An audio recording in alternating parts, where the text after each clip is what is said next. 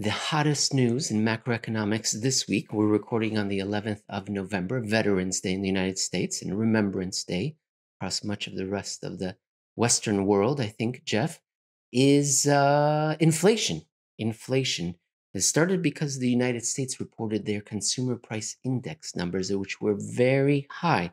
But it's not just a story about the United States. We're going to talk about inflation and the bond market's reaction we're going to focus on the United States, but Jeff Snider, head of global research for Alhambra Partners, would you be surprised that in the last 36 hours there's been a litany of reports about high inflation readings around the world? Let me give you just some examples. Mozambique inflation rate near four year high. Don't worry, there are more important countries too coming up. Japan producer prices rise to the most in near four decades. Belarus inflation rate near five year high. El Salvador rate near at 10 year high. Brazil inflation rate at new five year high. Greek October inflation rate highest since 2011. Moldova, Jeff, where else would you hear about this? Moldova October inflation rate highest since 2016. Lithuania, 12 year high. Danish inflation rate highest since 2011. Romania, highest in over a decade. Germany confirmed at 4.5%, the highest since 1993. It goes on. Norway producer price, price inflation hits record again month after month. China producer inflation highest since 95. Ecuador inflation rate over five year high. Mexico inflation rate at near four year high. And then we had the results from the United States, which was a near 30 year high we've got CPIs at least. We have consumer price indices indicating consumer prices that are that are uh, not only rising but in October seem to have accelerated. So that's really kind of the story here is that we have high rates of consumer price increases. But is it inflation? And that's the, that's the discussion that you and I have been having with the audience for how many months now ever since this really began.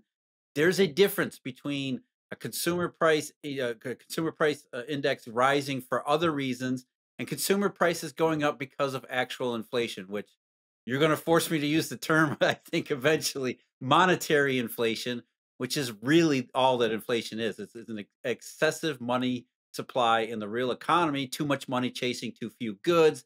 That's inflation when uh, the, the real question here is how do we tell what's what's mm-hmm. creating consumer price increases at any period in time in any period in history? What do we use? How do we sort out one cpi from another? Well we go to the bond market. You say we but i think it's best that you and i not do it because we may be wrong in any particular time. It's best to rely on the wisdom of the crowds that have a lot of money riding and identifying pervasive persistent monetary inflation versus transitory supply demand imbalances that, while terrible, it may last longer than you would think when you say transitory, are not going to be there long term. I guess that's the question we have to define. What is long term? We're going to talk about the components of the CPI numbers first, then we're going to turn to the bond market second. So we'll talk about the components, Jeff. Uh, oh, by the way, if anyone wants to read along, they can following your work at the Alhambra Investments blog, they can go and find the article, How Can a CPI Now Above Six Price Like This? And it was posted yesterday, November 10th, 2021. Jeff, the results were like all just very, very high, whether you look at core or just the headline. If you look at the headline month over month change from 1950 to 2021, this was in the 95th percentile, the October reading. The year over year change for the headline between 85th and 90th percentile. Even if you exclude energy and food and you get look at core, the core month over month change, looking at all months, 1957 through 2021, October's reading was in the 90th percentile, and the core year over year change, 75th percentile. Yeah, I mean, there's no question that consumer prices are rising. And the million dollar question, or actually the multi trillion dollar question, is why? And that's really, you know, when we start to break in and dig into the CPI numbers, what you see is that, you know, what's amplifying these price increases is essentially two basic, two major parts of the bucket. and that's energy and cars. You got new vehicle prices that are going up, but used vehicle prices, which are just through the roof. And believe it or not, even though it's not a relatively high part of the CPI bucket, used cars, because not everybody buys used cars every year, it has created a substantial amount of this. It's responsible for or has contributed a substantial amount of these annual gains all year. So if you have if you're not buying a used car, your experience with consumer prices is different. And of course, we know what's going on in the automobile segment. It's not monetary inflation. It's not too much money chasing too few cars. It's literally too few cars for whatever level of demand. You, uh, you only need to look at some of these social media posts about empty dealer lots, and you can see what's driving prices, of course, in new cars as well as used cars. Because if there aren't any new cars available, used cars are going to be in high demand. Then the other part of it, of course, is what everybody has focused on, and rightfully so, which is crude oil and crude oil flowing into everybody's uh, personal experience in the form of gasoline. Every time you go fill up your car, you notice how much more expensive it is to do so, especially over the last five or six months. And again, but that's not, you know, as usually it might be, or historically it has been, this is not oil prices rising because the Federal Reserve is printing money or the Eurodollar system is legitimately printing money as it had in the run up to the pre in the pre-crisis era.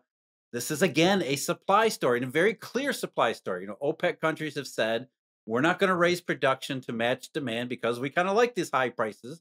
And even domestically in the United States, you, uh, U.S. oil and gas production is down about 13% from where it was before the COVID recession. So American domestic producers are holding down production too, even as prices rise. Let's talk about that some more. That's very interesting. Now, I have heard that natural gas prices are crazy high. We discussed it several episodes ago, and that there are geographic factors. There was an earthquake in one field, natural gas field, and geopolitical factors that perhaps Russia isn't too keen on saving Europe's rear sector and giving them uh, natural gas. Okay, so geopolitical factors. But then you mentioned OPEC and the United States producers are not increasing production, which is unusual. I would think if you see high prices, you would want to increase production. So are you suggesting that perhaps they are not convinced that these prices are going to be sustainable, that the demand for continued acceleration in prices is not going to be there? Yeah, and you have to remember that a lot of domestic production is the expensive oil, the shale oil that is, you know, that is not profitable unless oil prices stick around at, you know, some level, you know, the, people have thrown around $70 or so as the break even point for a lot of those those production plays. And maybe that's the case, maybe it's not. We don't really know for sure, but it does seem to be what's going on here where oil producers need to be convinced that oil prices are going to stick around in the 80s, 70s, 80s, maybe even the 90s or more before they start ramping back up production because over the last 18 months, they have obviously very clearly said even as oil prices are rising steadily, we're not going to raise production levels. And so you have to ask yourself, why is that the, why is that happening? Why are producers not willing to ramp up production to the level even just to the levels that they were before uh, before the recession last year? Geopolitics, or they're worried about demand and demand persis- That's being the other part sustainable. right? Because that's that's you know everything we've been talking about so far is supply, right? It's supply, supply, supply, limited supply, limited supply, and that's true. But why are supplies so much limited? Some of it is you know regular logistical snafus that we've been hearing about, port traffic, you know, rail yards all screwed up and things like that. But you have to also consider that you know as we're moving forward, maybe suppliers and producers are thinking this the party's you know it's not going to last forever there's a downside there's a there's a there's a, uh slowdown here we don't know how big that slowdown's going to be and it's specifically in terms of oil any slowdown in demand oil tends to be a little bit touchy about those those periods when demand is becomes uncertain or question un, or a little more uh, questionable than it had been. You know i'm thinking 2014 2015 for example or 2018 and 2019 where oil prices seem to fall very quickly and for at least most of the mainstream it seemed it, it came about in an unexpected surprising fashion. So maybe oil producers having been bitten once too many times in the past are a little bit more reluctant this time to embrace the rise in oil prices because there are legitimate concerns about how dependable demand will be in the future That's the point I wanted to bring up is that their fingers have been singed already. They've been bitten several times. You mentioned a couple of examples. 2008 is another example you didn't mention. That was a precipitous fall in oil prices. I don't remember about 2011 and 12, Jeff. I remember other commodity prices fell dramatically in that time period. Uh, do you remember what happened to oil in that in that time span? It took a little bit of a step back in 2011, but it was over $100 a barrel all the way into 2014. And 2014 was then oil catching up with the rest of the commodity space, which I think, you know, you're right, Emil. I think that's really the lesson that oil producers have kind of held in the back of their mind where they thought, you know, 2013 seems to be okay. The rest of the commodity space is a mess, but we're doing okay. And then you get into 2014 when the global economy is supposed to be accelerating and all of a sudden the global economy falls off a cliff. Nobody warned oil producers, and it just was a complete mess for a couple years, which made you know I think what your point here, which was a very powerful lesson in the oil community in the oil space, which was let's be a little bit cautious about you know overproducing, especially the less profitable production areas. Let's turn to the bond market reaction. Yesterday, the yields went up precipitously meaning, well, precipitously. You tell me if you agree with that description. They went up quite sharply relative to where they were on earlier this week. But if we take a little bit bigger perspective, they had been in a downtrend for a while. We'll talk about that later in uh, our part two of our episode. We'll talk about something you call the landmine and bond yields and the direction that they're heading down. But bond yields went up. We're going to talk about how the bond market reacted in four or so different measures here. We'll look at the nominal yield, the yield curve, treasury inflation protected security break even, so the anticipated inflation rate, the TIPS yield curve, and yield real rates. So let's start with nominal rates. What did they do yesterday on the news? You're right. Yeah it was a sell off and it was a sharp sell off, but it, I don't think it was anything unusual. Of course, it's going to be overhyped in the media because anytime the bond market ever sells off, it's you know front page news, and then they, they don't report on all the other times where bond yields are actually falling, and which is why, mm. as you as you were mentioning and alluding to here, bond yields even after the sell off are basically where they were about a week ago, and they're still significantly less than they were eight months ago. So, you know, they're lower than the peak, which was set back in the middle of March, uh, middle of March this year. And you have to wonder what's going on here because it's not just that we had one 6% CPI in October, there were four, five plus CPI, 5% CPIs in the months before then. And then the, the one before that was actually 4.99%. So for the last six months in a row, we've had very elevated CPIs. Yet during those six months, including yesterday's sell-off, bond yields have been falling in by and large, not in a straight line or not directly, but their bond yields are going moving lower or at least sideways, at least in the long end, where some of the short-term rates are moving a little bit higher, which is a response to something other than CPIs as well. I'm so glad you mentioned that. If I would tell the audience there's one key takeaway, I would say it was that what you just mentioned that we've had several consecutive eye watering, paint blistering CPI readings, and the bond market has been heading downwards generally during this time. And during the worst of it, it's been just flat if we take a longer term perspective. Okay, so yesterday, though, the news came out bonds sold off sharply. What about relative measure, the yield curve? Yeah, and I think that's the most important one because the sell off was mostly focused on the short end, which of course, as everybody knows, is is uh, more influenced by the Federal Reserve's potential policies in the future. So the bond market was basically saying, "Hey, they're tapering anyway." So the chances they actually get to a rate hike, which is you know, it affects short-term parts of the yield curve because the Federal Reserve offers alternative monetary rates, which you have to factor into your return risk return considerations. So if you think the Fed is going to get to some rate hikes, then short-term rates down the you know in that that the area where the rate hikes are going to happen are going to start to adjust to those potential rate hikes. So that's what's going on in the short end. The market's saying, look, the Federal Reserve, these CPIs, they're going to convince the Fed to taper and then eventually rate hike. There's a good chance that it actually happens. And that's what's going on in the short end. Now the long end is saying, yeah, that's that's what the Fed's going to do, but it's wrong to do it because these CPIs are not going to stick around. and the growth and growth and opportunity that's embedded in longer term in, in, expectations and longer term bond yields are saying, you know, the the economy's slowing down, not picking up. So the Fed is going to do its taper. It's going to affect the short run, maybe some rate hikes eventually if they get that far, but it's not going to go very far at all because the economic climate, the longer run or intermediate longer run economic climate is getting is growing worse by the month. So what we have as a result of the short end adjusting to the Fed and the long end picturing growth and opportunity becoming more and more difficult is you have a flattening yield curve. So even yesterday during the sharp sell-off, most of it was in the short end. You had the five-year treasury, for example, sell off, I think it was 12 or 13 basis points, or maybe it actually was more, maybe it was 14 or 15. And the 10-year treasury only sold off about uh, 10 or 11.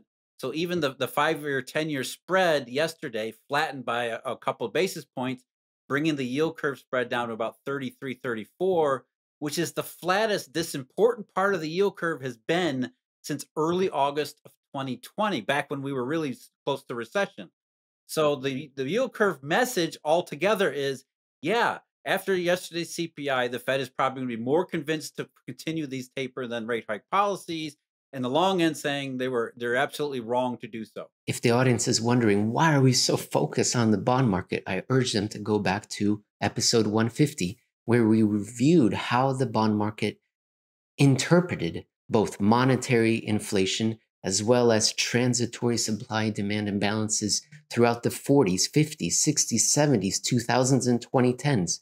And it's this market that is consistently prescient in identifying and determining which flavor of price increases we're witnessing. All right, let's talk about Treasury inflation protected securities.